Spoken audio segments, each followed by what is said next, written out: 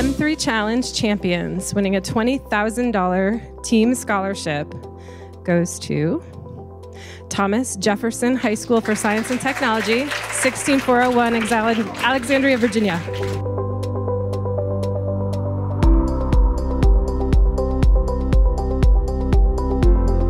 M3 Challenge is one of the most exciting things for our kids to do every year. The M3 Challenge gives students the opportunity to participate in real-world challenges that require hands-on involvement and out-of-the-box thinking. Working in M3 was really different than doing standard math because in normal math, there's a right and a wrong answer. But in M3, we were dealing with things that were very, very applicable to the real world. And I think to me that makes math a whole lot more interesting. They spend hours upon hours preparing, and then they spend 14 hours all together wrestling through this problem and it just brings them together in a way that I don't commonly see for high school kids. You have to work with other people. You have to talk and you have to share ideas, and that's not something you usually see in a math competition. We were all having legitimate discussions over the best way to approach the model and how we could do it best. The competition is really um, helped us as a club become more of a team. The competition helps them realize that math modeling is incredibly interesting and it opens their eyes to a whole new realm of career possibilities.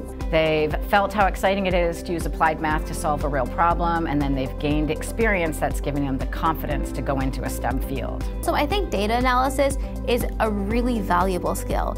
Being able to acquire that skill through M3 has just been really valuable. My perspective of math modeling and math generally has changed a lot from participating in this challenge. The bar is set higher every year and it's just amazing to see the work that is produced by these teams.